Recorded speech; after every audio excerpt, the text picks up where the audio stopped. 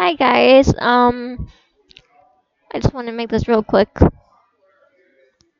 Um, yeah, you know, relationships is hard because, you like, we you don't know what the other person's thinking